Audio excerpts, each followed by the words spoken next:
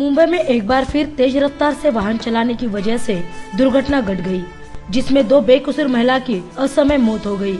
यह घटना तब घटी जब सुबह लोग बाग जॉगिंग कर रहे थे और कुछ कामकाजी महिला काम से बाहर जा रही थी जब तेज रफ्तार से आ रही इंडिका कार ने छह महिलाओं को रोनते हुए आगे बढ़ गई जिसमें दो महिलाओं की मौत हो गई और बाकी चार घायल हो गई।